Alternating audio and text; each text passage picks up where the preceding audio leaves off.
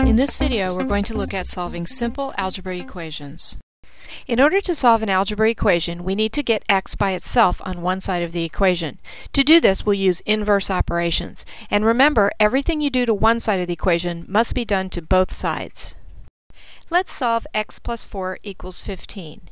In order to get x by itself, we need to use inverse operations. Because 4 is added to x, we need to do the opposite and subtract 4.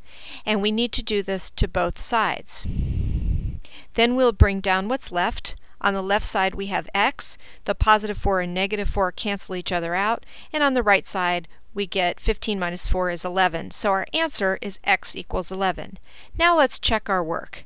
We're going to substitute in our answer of 11 for x in the original equation, and so we have 11 plus 4 equals 15. When we add 11 plus 4, we get 15, and 15 equals 15, so our work checks out. Now we have x minus 6 equals 12. Again, we need to use inverse operations and do the opposite of subtracting 6, which is to add 6, and we do that to both sides of the equation. Then we'll bring down what's left. We have x equals, and 12 plus 6 is 18. So our answer is x equals 18. And again, let's check our work. We'll substitute in 18, which was our answer, for x into the original equation. And so we have 18 minus 6 equals 12. If we solve 18 minus 6, we get 12 equals 12, and our work checks out. Our next equation has 6 multiplied by x. So in order to get x by itself, we need to do the opposite of multiplication, which is division. So we'll divide both sides of the equation by 6. On the left side, the two 6's cancel, so we end up with x by itself. And on the right side, 60 divided by 6 is 10. So our answer is x equals 10.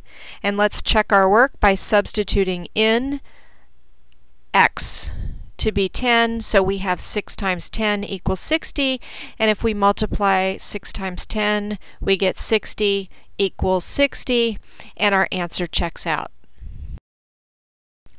In our final example, x is divided by 3. So we need to do the opposite of division, which is multiplication, in order to get x by itself.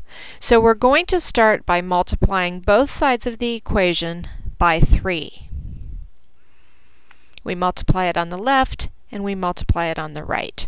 So then on the left side, if we multiply, we have 3x over 3. And on the right side, we can multiply 15 by 3 to get 45. On the left side, the 3's cancel, and we have x by itself. And so our answer is x equals 45.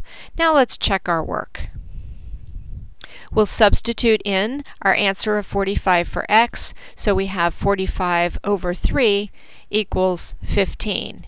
And to do a check, we can divide 45 by 3, and our answer is 15. So completing our check, we have 15 equals 15, and our answer is correct. You can practice solving more equations like this in MobiPocket and Quizlet.